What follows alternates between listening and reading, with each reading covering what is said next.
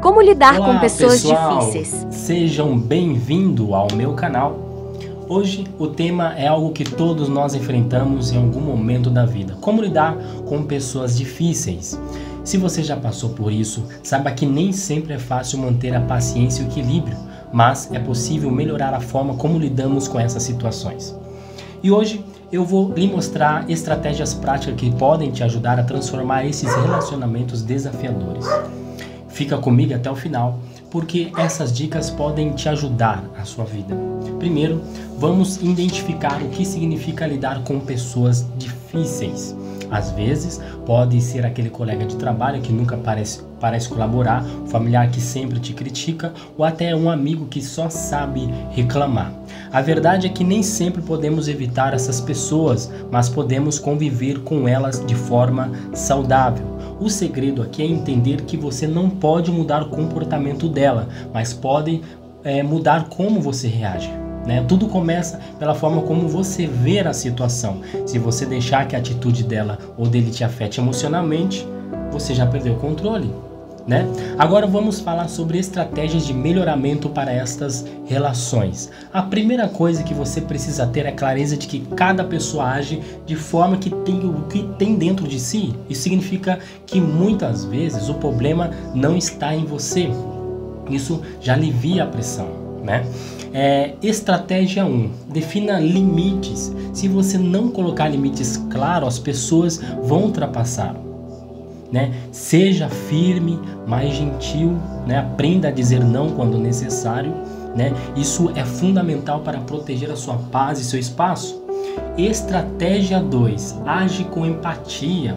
Né? Às vezes, pessoas difíceis estão passando por lutas internas que você desconhece, né? Se você conseguir olhar além da superfície e tentar entender o que pode estar causando esse comportamento, mas ter mais controle sobre a situação. Isso não significa aceitar o comportamento tóxico, né? Mas pode te ajudar a lidar com pessoas de forma mais tranquila, né? A estratégia 3, foque na solução, não no problema. Tá? Em vez de gastar energia reclamando sobre o comportamento da pessoa, foque em como resolver a situação.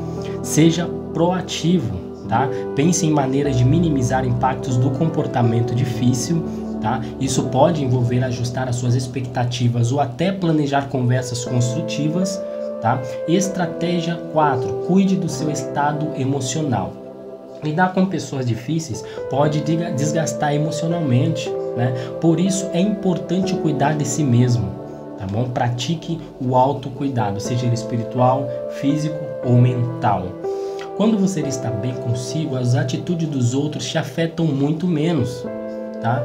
Estratégia 5. Pratique a comunicação não violenta. A forma como você se comunica pode transformar qualquer situação. Tá? Quando você está lidando com alguém difícil, é muito é algo é muito fácil entrar em modo defensivo, né? Pratique a comunicação não violenta. Isso envolve expressar os seus sentimentos e necessidade de forma clara e direta, sem culpar ou atacar a outra pessoa. Use frases eu me sinto em vez de você sempre. Isso abre espaço né, para um diálogo construtivo e evita confronto desnecessário. Tá? Estratégia 6. Evite a personalização. Quando alguém age de forma difícil, é tentador levar as atitudes dessa pessoa para o lado pessoal. Porém, na maioria das vezes, o comportamento dela reflete mais sobre quem ela é, o que está passando, do, do que sobre você. Tá? Lembre que não é sobre você. Quando você para de personalizar as ações dos outros, você se torna emocionalmente mais forte e menos reativo.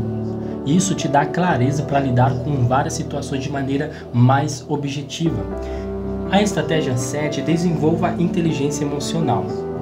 Pessoas difíceis costumam despertar emoções fortes em nós, como raiva, frustrações e até mesmo tristeza.